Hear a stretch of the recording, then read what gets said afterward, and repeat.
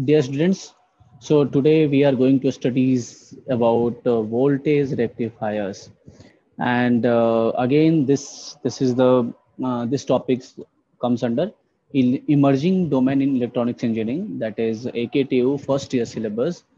Code is KEC 101201T. My name is Hari Mohan Rai, and I'm going to explain about all types of voltage rectifier, which is which comes under your syllabus. So let us begin with rectifier rectifier uh, होता क्या है? सबसे पहले हम define करेंगे और already I think so eleven twelfth में आप लोगों ने कुछ बेसिकली पढ़ा भी होगा। तो उसी लेवल का हमें यहाँ भी पढ़ना है। This not very deep and def so just basics of that rectifier is an electronic device an electronic circuit which convert AC signal yani ki AC input signal to DC output signal. But it is not exactly called DC signal. This is also called pulsating DC pulsating मतलब pulse के form में आता है. Exactly uh, DC नहीं मिलता. Okay okay, इसको हमें filter uh, out करना पड़ता है. But that is but rectifier word का मतलब हुआ कि ये एसी से डीसी में कन्वर्ट करता है. जहाँ पे कि इनपुट हम एसी देते हैं और आउटपुट डीसी लेते हैं हमेशा.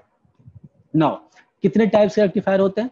तो जनरली हमारे पास दो टाइप के रेक्टिफायर होते हैं. एक हाफ़ वे रेक्टिफायर और दूसरा full wave rectifier okay so one by one will study but full wave के अंदर में भी दो पार्ट में डिवाइड हो जाता है that is one center tapped नाम है center tap full wave rectifier and bridge rectifier so let us begin with the first half wave rectifier okay so let us start here तो half wave rectifier पहले सबसे पहले define करेंगे then उसके बारे में सर्किट डायग्राम एंड देन उसकी working तो जैसे पता है हमें कि हाफ़ वेव रेक्टिफिकेशन क्या होता है तो rectifier conducts only during one half cycle हमें पता है कि जब हम एसी पे काम करते हैं, जब एप्लीकेशन ऑफ़ डायोड की बात करते हैं तो जब भी हम एसी साइकिल पे बात करेंगे तो हमेशा positive half cycle and negative half cycle की बात करेंगे। Because in positive half cycle this whole portion is positive and ये होल पोर्शन इज़ निगेटिव यानी कि ये पूरा पोर्शन पॉजिटिव और निगेटिव हो गया। तो इसको हम लोग नाम देते हैं पॉजिटिव हाफ़ साइकिल और निगेटिव हाफ़ साइकिल क्लियर है?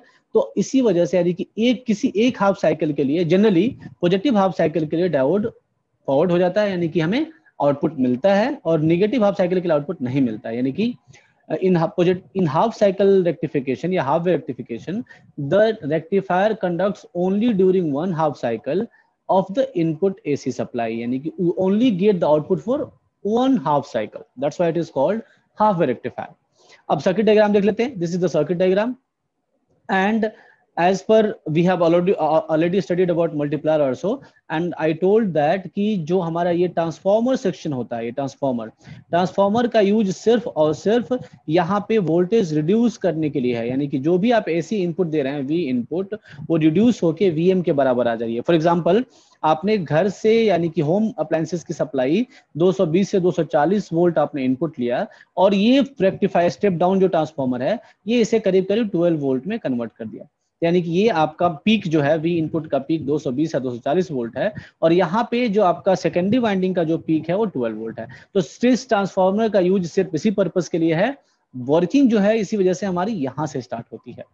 Got it okay so start करते हैं। तो इसमें अब अगर मैं बात करूँ कि सर्किट डायग्राम में क्या क्या लगा हुआ है तो सर्किट डायग्राम में एक ट्रांसफॉर्मर जो जनरली कॉमन है, ये ऑलमोस्ट सब में होगा।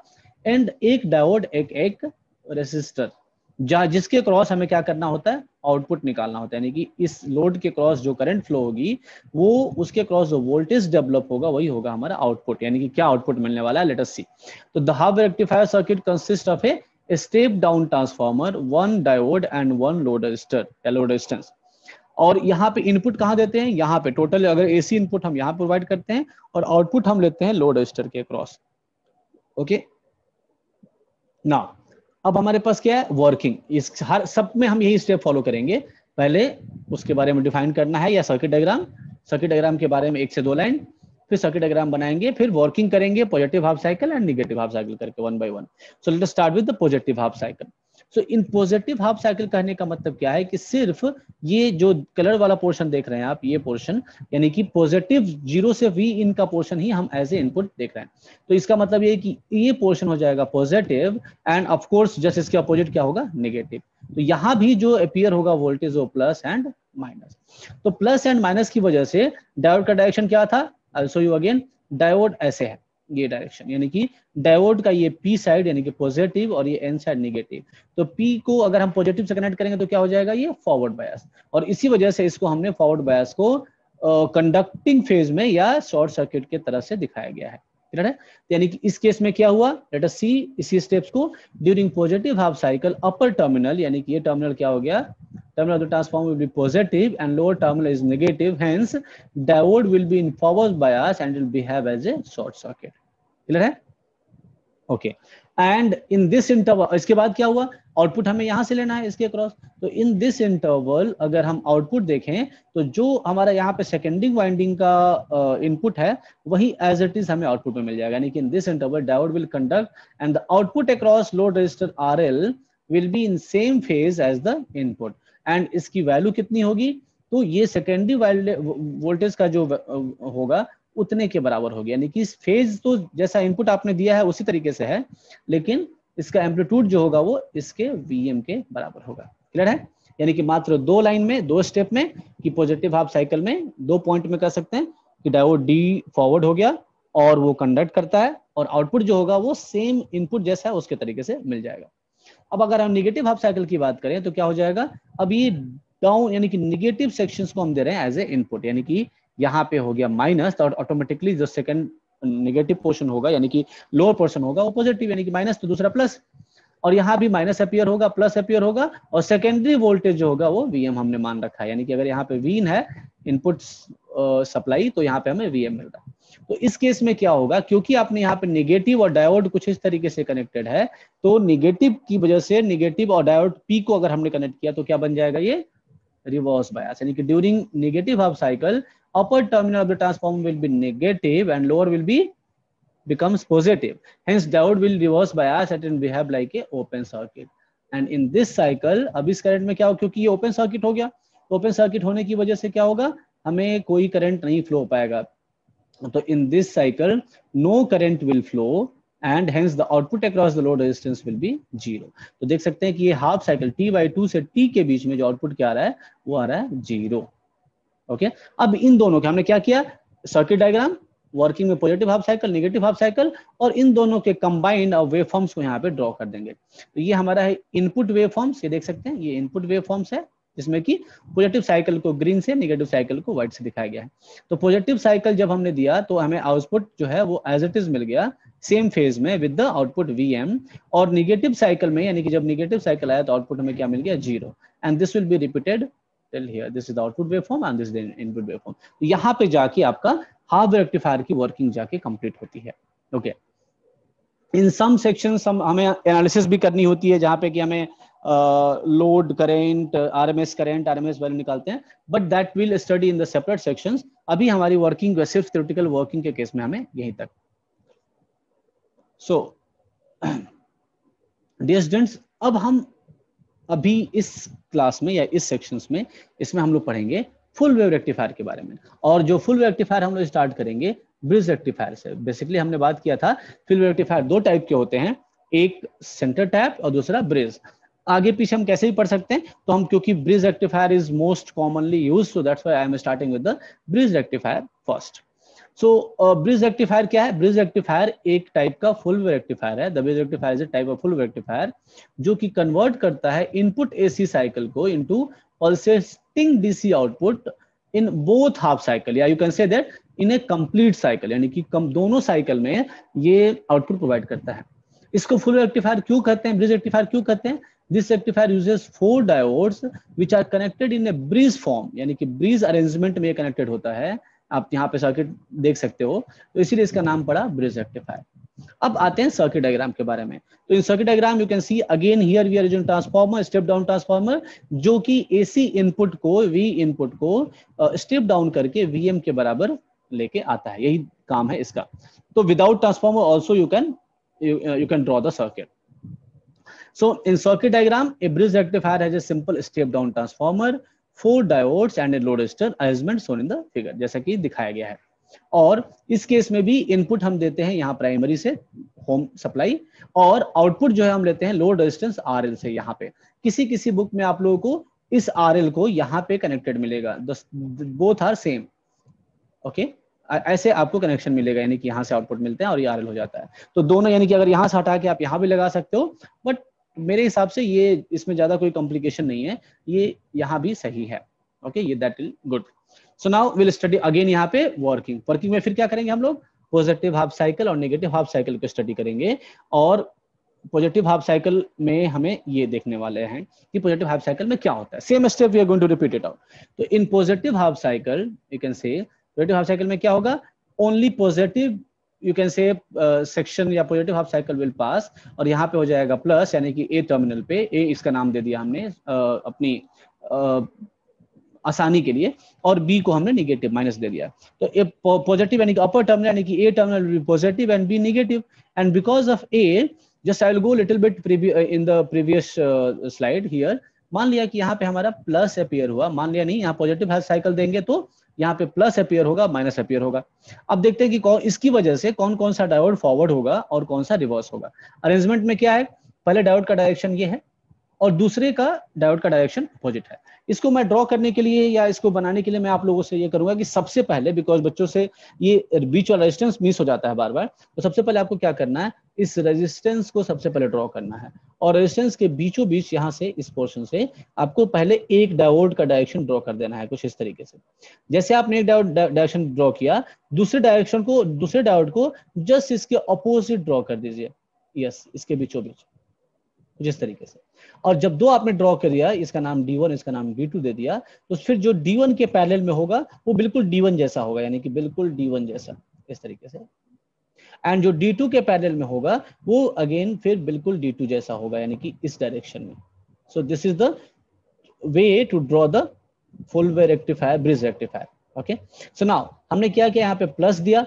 देख सकते हैं, ये डायोड का पी टाइप है, यानी कि पॉजिटिव कह सकते हैं। तो ये क्या बन जाएगा? फॉर डी वन बन जाएगा फॉरवर्ड बैस अब यहाँ पे निगेटिव अपियर हुआ माइनस की तरफ़ और माइनस और ये डायोड डी का क्या बना ये?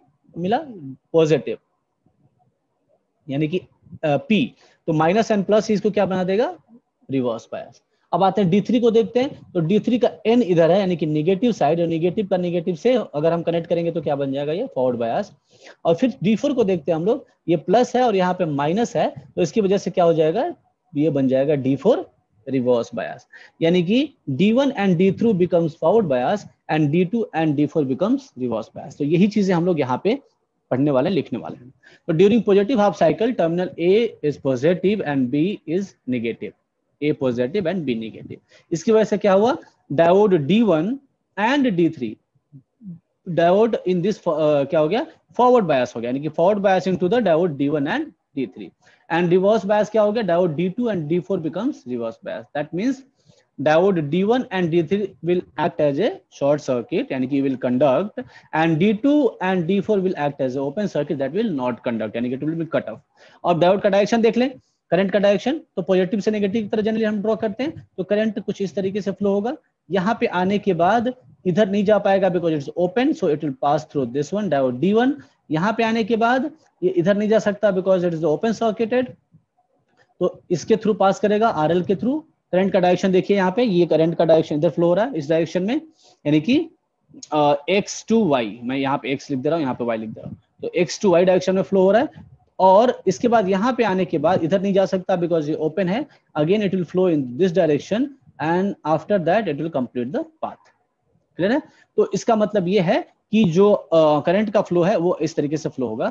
तो आउटपुट जो हमें मिलेगा अगर मैं इसको स्ट्रेच करूँ कुछ इस तरीके से तो सिर्फ़ ये एक लाइन मिलेगी इस तरीके से फिर यहाँ पे रेसिस्टेंस मिलेगा ऐसे हो जाएगा। यानी कि ये ये पोर्शन हो गया ए और ये बी और इसके क्रॉस मुझे मिल रहा है आउटपुट यानी कि जो भी हम यहाँ पे इनपुट दे रहे हैं ये इनपुट वही हमें एज इट इज़ क्या मिल जा रहा है आउटपुट मिल रहा है।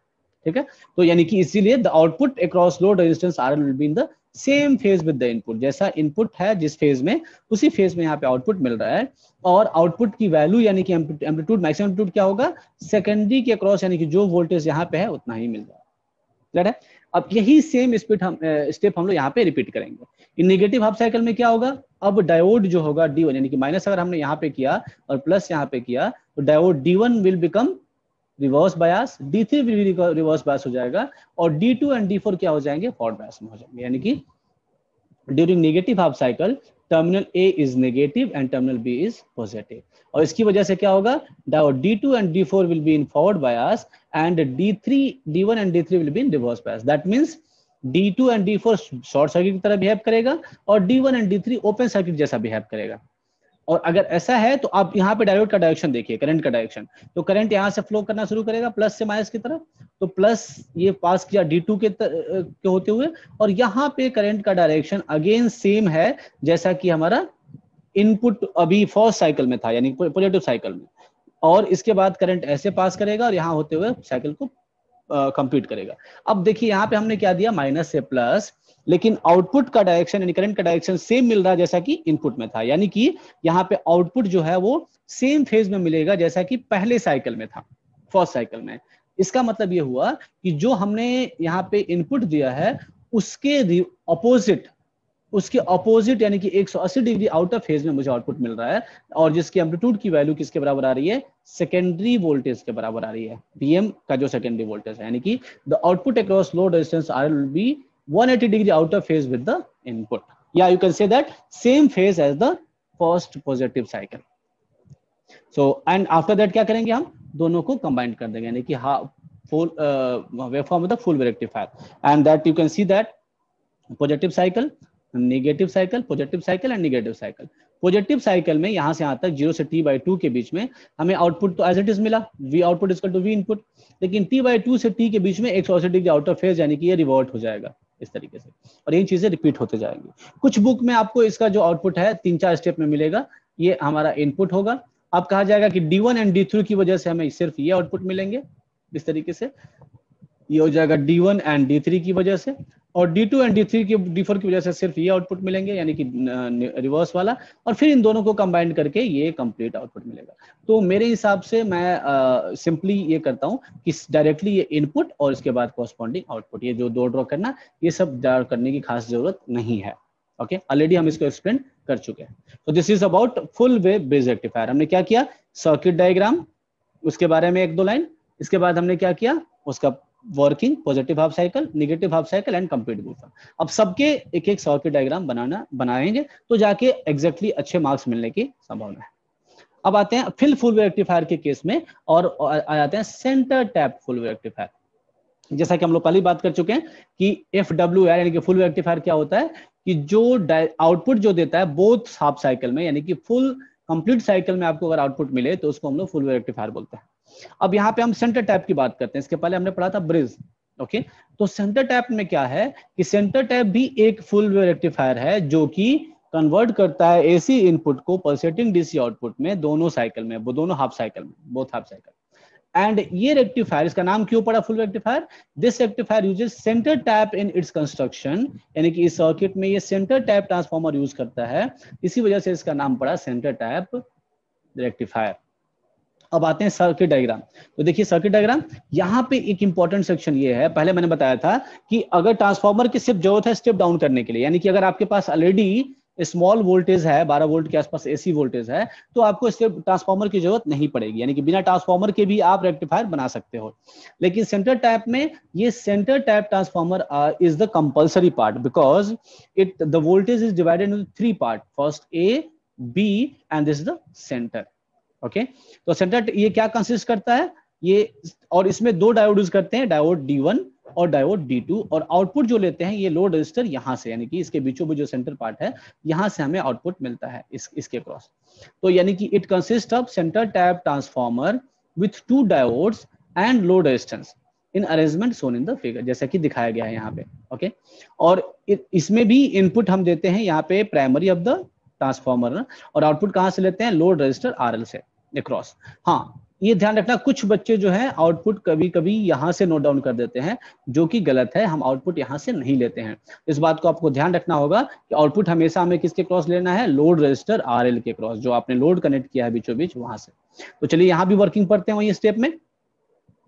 और वर्किंग होगा फिर से पॉजिटिव हाफ़ साइकिल और नेगेटिव हाफ़ साइकिल जब हम पॉजिटिव हाफ़ साइकिल लगाएँगे, यानी कि यहाँ पे प्लस और यहाँ पे माइनस तो क्या होगा? डायोड जो ऊपर में यहाँ पे इस तरीके से कनेक्टेड है, और यहाँ पे अगर इसको प्लस मिलता है तो क्या बन जाएगा? फॉरवर्ड बायस और ये नीचे की तरफ़ यहाँ पे माइनस मिला, यानी कि ऊपर की तरफ़ प्लस और नीचे की तरफ़ माइनस तो ये वाला डायोड क्या बन जाएगा? जिसका डायरेक्शन भी इस तरीके से है तो ये माइनस इसको क्या बना देगा? रिवर्स बायस तो पहला वाला बन गया फॉरवर्ड बायस डी और डी हमारा बन गया रिवर्स बायस ओके तो अब यहाँ पे जो वोल्टेज देखिए यहाँ पे प्लस और माइनस तो सिंपल सी बात है।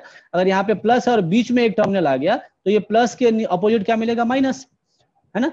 और यहाँ पे अगर माइनस है तो इसका अपोजिट क्या मिलेगा? प्लस यानी कि ये टर्मिनल प्लस और माइनस दोनों की तरह बिहेव करता है डिपेंडिंग अपॉन द करंट किसमें फ्लो हो रही है। तो अब देखिए, इसकी वजह से करंट सिर्फ़ पहले वाले लूप में फ्लो होगी बिकॉज़ ये वाला लूप क्या है? ओपन सर्किट है। और आउटपुट जो है, वो जो यहाँ पे जो वोल्टेज होगा, यानी कि इसके क्रॉस जो वोल्टेज होगा, वो उसी के बराबर होगा। यानी कि मान लेते हैं कि इसके क्रॉस जो वोल्टेज है, वो वीएम है यहाँ से यहाँ तक, और इसके क्रॉस भी वोल्टेज जो है, वो वीएम है यहाँ से यहाँ तक, यानी टोटल टू वीएम के बराबर है। तो आउटपुट जो मिलेगा अप्रोक्स वीएम के बराबर मिलेगा, और ये सेम फ़ेज़ में मिलेगा जैसा कि इनपुट है। ओके करंट का डायरेक्शन आप देख ही सकते हो, ऐसे फ्लोर है तो ना during positive half cycle terminal A of the centre transformer positive and terminal B is negative and this will provide the forward biasing to the diode D1 and reverse biasing to the diode D2 यानी कि forward bias हो गया D1 जहाँ पे कि D1 behave करेगा short circuit की तरह और D2 बिहेव करेगा ओपन सर्किट की तरह okay so in the output across load resistance RL will be in the same phase as the input because जो हमें यहाँ पे input मिल हो रहा है वही as it is output मिल रहा है because there is no other voltage drop uh, I mean other than this जब निगेटिव हाफ़ साइकिल में जाएँगे तो यहाँ पे हो जाएगा निगेटिव और यहाँ पे पॉजिटिव और इसकी वजह से यहाँ पे टर्मिनल ए निगेटिव और टर्मिनल बी पॉजिटिव तो यहाँ पे अगेन देखो यहाँ पे हमने अगर डायोड का डायरेक्शन ये था माइनस दिया हमने तो क्या बन गया ये? रिवर्स बयास क्योंकि माइनस एंड प्लस इसको रिवर्स बयास बना देंगे। और यहाँ पे प्लस है तो प्लस एंड प्लस इसको फॉरवर्ड बयास बना देंगे। तो अब इसमें करंट क्या होगा? सिर्फ़ इस लूप में, यानी कि सेकेंड लूप में फ्लो होगा। और डायरेक्शन क्या होगा? प्लस से माइनस की तरफ़ कुछ इस डायरेक्शन में। तो यहाँ भी देखिए करंट का डायरेक्शन जो फ़र्स्ट साइकिल में फ्लो हो रहा था, यहाँ पे, जो इस साइकिल में, इस डायरेक्शन में, वही यहाँ पे फ्लो हो रहा है। इसका मतलब ये है कि यहाँ पे जो आउटपुट मिलेगा, वो उसी फ़ेज़ में मिलेगा जिसमें कि हमें फ़र्स्ट साइकिल में मिला था। यानी कि अपोजिट टू द इनपुट यानी कि अपोजिट फ़ेज़ में इनपुट के। तो यहाँ पे इस हाफ़ साइकिल में टर्मिनल ए बन गया नेगेटिव और टर्मिनल बी बन गया पॉजिटिव और इसकी वजह से डायोड डी वन हो गया reverse bias and D two हो गया फॉरवर्ड बायस जहाँ डी टू फॉरवर्ड बायस का मतलब शॉर्ट सर्किट की तरह बिहेव किया और डी वन ओपन सर्किट की तरह बिहेव किया. और आउटपुट जो हमें मिला, वो 180 degree 180 degree out of phase with the input या you can say with the same phase with the first cycle okay and यहाँ भी क्योंकि दोनों साइकिल में हमें आउटपुट मिल रहा है, यानी कि पॉजिटिव हाफ़ साइकिल में दोनों का आउटपुट सेम मिलेगा, यानी कि centre tap and bridge rectifier का तो हम आउटपुट हमें इस तरीके से ड्रॉ कर देंगे। यानी कि पॉजिटिव साइकिल में तो हमें आउटपुट मिल ही रहा है पॉजिटिव लेकिन निगेटिव साइकिल में हमें 180 डिग्री आउट ऑफ़ फ़ेज़ मिल रहा है, कुछ इस तरीके से। So this is the input wave form and this is the output wave form अब यहाँ पे जाके आपका कंप्लीट वर्किंग जाके कंप्लीट होती है। यानी कि एग्ज़ाम में जनरली दोनों में से कोई एक क्वेश्चन आपसे पूछा जाएगा, या तो सेंटर टैप के बारे में या ब्रिज रेक्टिफायर के बारे में। और लॉन्ग क्वेश्चन में आता है वेरी इंपॉर्टेंट क्वेश्चन है। और इसके अलावा आपको वर्किंग के अलावा एनालिसिस पार्ट भी जनरली कभी कभार पूछा जाता है कि पिक इनवर्स वोल्टेज क्या है या फिर पिक रिपल फैक्टर क्या है? तो ये सब चीज़ें एनालिसिस हम कभी अगले सेक्शंस में, अगले चैप्टर में पढ़ेंगे बट अभी के लिए यही है। तो यहाँ पे हमने पढ़ा रेक्टिफायर्स के वर्किंग के बारे में how it works and how we we gated the wave forms तो हमें स्टेप्स पता है, हमें कैसे लिखना है अच्छे मार्क्स के लिए? स्टार्ट करेंगे सर्किट डायग्राम से। उसको डिफाइन करना डिफाइन कर सकते हैं। सर्किट डायग्राम बनाएँगे, उसके बारे में एक दो लाइन लिखेंगे। वर्किंग लिखेंगे, दोनों हाफ़ साइकिल से। सारे सर्किट डायग्राम पहले सर्किट डायग्राम बनाएँगे, फिर पॉजिटिव साइकिल के लिए डायग्राम बनाएँगे, फिर नेगेटिव के लिए बनाएँगे और फिर कंप्लीट आउटपुट वेवफॉर्म बनाएँगे। एंड रही बात थ्योरेटिकल पोर्शन लिखने की तो जस्ट शॉर्ट एंड स्वीट में आपको लिखना है। दो तीन लाइन दो तीन लाइन पॉजिटिव साइकिल के लिए, दो तीन लाइन नेगेटिव साइकिल के लिए। एंड एक दो लाइन जो है वो सर्किट डायग्राम्स के बारे में। This will be your complete working so I hope you got this concept clearly अगर इसके बावजूद भी आपको कोई डाउट या कुछ प्रॉब्लम आती है तो you can reach me out on this email ID which I already, I have mentioned it out. Thank you, everyone.